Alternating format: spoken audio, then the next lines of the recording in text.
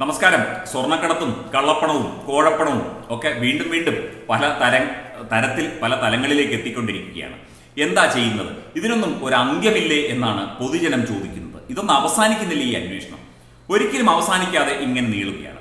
വിദേശ പൗരന്മാരടക്കം ഈ കേസുകളിലൊക്കെ ഈ സ്വർണക്കടത്ത് കേസിലും മറ്റ് ഇടപാടുകളിലുമൊക്കെ നേരിട്ട് ഇടപെട്ടിരിക്കുകയാണ്. ഇതൊക്കെ ഒരു നയതന്ത്ര നയതന്ത്ര തലത്തിൽ തന്നെ ഇത് അന്വേഷിക്കേണ്ട വിഷയത്തിലേക്കാണ് കാര്യങ്ങൾ എത്തിക്കൊണ്ടിരിക്കുന്നത്.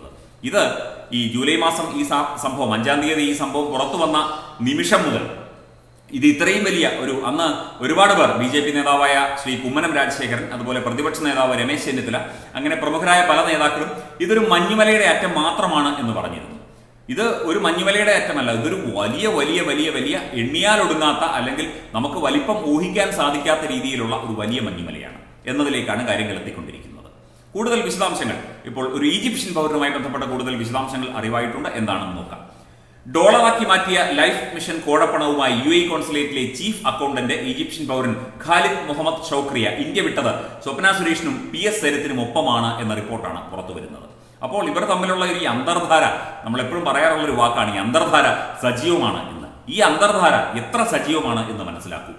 മസ്കറ്റിൽ വെച്ച് ഖാലിദ് പണവുമായി പിരിഞ്ഞു എന്നാണ് സ്വപ്ന മൊഴി നൽകിയത്. കസ്റ്റംസും സി ബി ഐയും ഇത് വിശ്വസിക്കുന്നില്ല. തങ്ങളുടെ പണമായതിനാലാണ് സ്വപ്നയും സരിത്തും ഒപ്പം പോയതെന്നും ഖാലിദിന്റെ നയതന്ത്ര പരിരക്ഷ പ്രയോജനപ്പെടുത്തി എന്നുമാണ് നിഗമനം. ഇവിടെ എല്ലാവരുടെയും അധികാരവും അവകാശവും ഒക്കെ പരിരക്ഷിച്ചുകൊണ്ട് അവകാശവും ഒക്കെ പ്രയോജനപ്പെടുത്തിക്കൊണ്ട് ചൂഷണം ചെയ്തുകൊണ്ടാണ് ഈ പരിപാടി മുഴുവൻ നടത്തിയിരിക്കുന്നത്. എം ശിവശങ്കർ എന്ന ഉദ്യോഗസ്ഥനെ ആ ഉദ്യോഗസ്ഥന്റെ എല്ലാവിധ സ്വാധീനങ്ങളും കഴിവുകളും അദ്ദേഹത്തിന്റെ ആ അധികാര പരിധിയും ഒക്കെ ഉപയോഗിച്ച് തന്നെയാണ് ഇത് ചെയ്തിരിക്കുന്നത്. അദ്ദേഹം അതിനൊക്കെ വഴിവിട്ടു എങ്കിൽ അല്ലെങ്കിൽ അതിനൊക്കെ അദ്ദേഹം കൂട്ടുനിന്നുവെങ്കിൽ അദ്ദേഹം തികച്ചും അധാർമികമായ കാര്യം തന്നെയാണ് ചെയ്തിരിക്കുന്നത്. അതുകൊണ്ടാണല്ലോ ഇങ്ങനെ ചോദ്യം ചെയ്യാൻ വേണ്ടി ഇത്രയും മണിക്കൂറുകൾ കയറി ഇറങ്ങേണ്ടി വരുന്നത്. അവസാനം പാർട്ടിയും കൈവിട്ടു മുഖ്യമന്ത്രിയും കൈവിട്ടു സെക്രട്ടറിയും കൈവിട്ടു എല്ലാവരും കൈവിട്ടു. ആ ശിവശങ്കർ മാധവൻ നായർ എന്ന് പറയുന്ന വ്യക്തി മാത്രമായി ഒതുങ്ങി. അദ്ദേഹം സ്പർശിക്കാത്ത മേഖലകളില്ല. അതുപോലെ തന്നെ സ്വപ്ന സുരേഷ്. രണ്ട് ദശാംശം എട്ട് കോടിക്ക് തുല്യമായ ഡോളറുമായിട്ടാണ് ഗ്രീൻ ചാനൽ വഴി ഈജിപ്ഷ്യൻ പൗരൻ ഖാലിദ് ഇന്ത്യ വിട്ടത്. താൻ ഖാലിദിനൊപ്പം പലതവണ ഗൾഫിൽ പോയിട്ടുണ്ടെന്നും അപ്പോഴെല്ലാം അയാൾ ഡോളർ കടത്തിയെന്നും സ്വപ്ന സമ്മതിച്ചിട്ടുണ്ട്.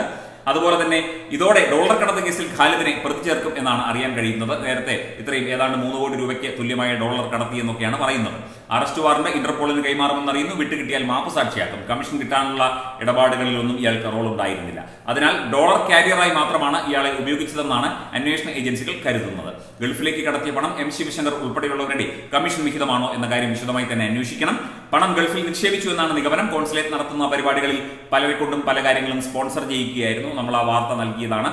അതുപോലെ തന്നെ പണം വാങ്ങിയിരുന്നു വിദേശ മന്ത്രാലയത്തിന് അയച്ചു കൊടുത്തു. ഇതൊക്കെ തന്നെ ഈ ഡോളറാക്കി മാറ്റിയ കാര്യമൊക്കെ തന്നെ സ്വപ്ന ചോദ്യം ചെയ്യൽ സമ്മതിച്ചിട്ടുണ്ട്. രണ്ടായിരത്തി പത്തൊൻപത് ജൂലൈ മുപ്പത്തിയൊന്നിനാണ് കോൺസുലേറ്റും യൂണിറ്റാക്കും തമ്മിൽ ഈ ഒരു പദ്ധതി കരാർ ഒപ്പുവെച്ചത് നമുക്കറിയാം. അപ്പം ഇതുമായി ബന്ധപ്പെട്ട ഈ കേസുകളിലൊക്കെ തന്നെ ഈ ഈജിപ്ഷ്യൻ പൗരൻ ഖാലിദ് മുഹമ്മദ് എന്ന് പറയുന്ന വ്യക്തി ഉൾപ്പെടെയുള്ളവർ പ്രതികളാകും. പക്ഷേ അദ്ദേഹത്തെ മാപ്പസാക്ഷിയാക്കുമെന്നാണ് അറിയാൻ കഴിയുന്നത്. ഇതൊരു വലിയ അന്താരാഷ്ട്ര ബന്ധം തന്നെയാണ്. ഇത് നമ്മൾ വിചാരിക്കുന്നതിനുമൊക്കെ അപ്പുറത്താണ് ഈ ബന്ധങ്ങളും ഈ സ്ഥിതിയും ഒക്കെ നിൽക്കുന്നത്. ഇത് കൂടുതൽ ചോദ്യം ചെയ്യലുകളിൽ നിന്ന് കൂടുതൽ കാര്യങ്ങൾ പുറത്താകും. സരിത്തും സ്വപ്നയും ഒക്കെ ഇയാളുടെ ഒപ്പം പോയത് എന്തിനാണ്? അല്ലെങ്കിൽ ഒപ്പം പോയിട്ടുള്ള ബാക്കി ഇടപാടുകൾ എന്താണ്?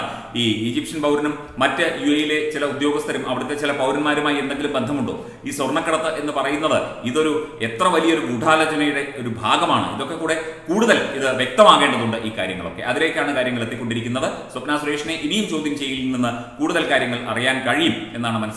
അതുപോലെ തന്നെ മറ്റുള്ള വ്യക്തികളുടെ കെ ടി റമീസ് ഉൾപ്പെടെയുള്ള വ്യക്തികളുടെ അതുപോലെ റബിൻസ് കെ ടി റമീസ് പിന്നെ ഫൈസൽ ഫരീദ് തുടങ്ങിയ വ്യക്തികളുടെയൊക്കെ ഈ യു എ ബന്ധങ്ങളും വിദേശ ബന്ധങ്ങളും ആഫ്രിക്കൻ ബന്ധങ്ങളും ഒക്കെ തന്നെ കൂടുതൽ സുതാര്യമായി തന്നെ പുറത്തു വരേണ്ടതുണ്ട്. അതിന്റെ നടപടിക്രമങ്ങളാണ് പുരോഗമിക്കുന്നത്. വരും ദിവസങ്ങളിൽ ഇത് സംബന്ധിച്ച കൂടുതൽ വാർത്തകളും വിശദാംശങ്ങളും നമുക്ക് ലഭിച്ചേക്കും. Web desk Tatwamayi news